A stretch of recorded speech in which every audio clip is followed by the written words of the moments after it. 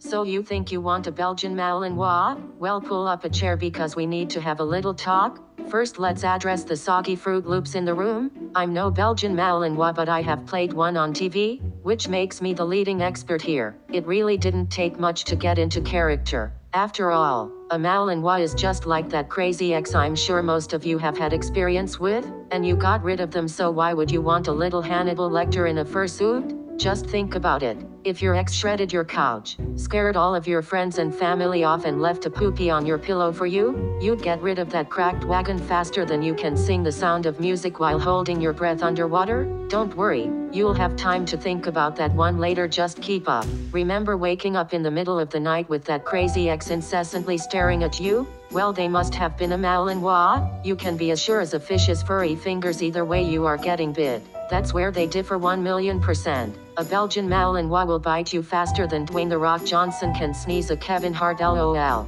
I kid. I kid? Or do I? I'm sorry but if you still think you want to get a Belgian Malinois, then I'd say you might be as crazy as Britney Spears' Instagram account and we need to put a rush on your psyche eval. If it's still not sinking in let me try this analogy. A Belgian Malinois is like a German Shepherd that has PTSD from binge watching Dexter for three days straight and has been living off of Red Bull and cigarettes. A Malinois is the dog German Shepherds actually call in to handle business.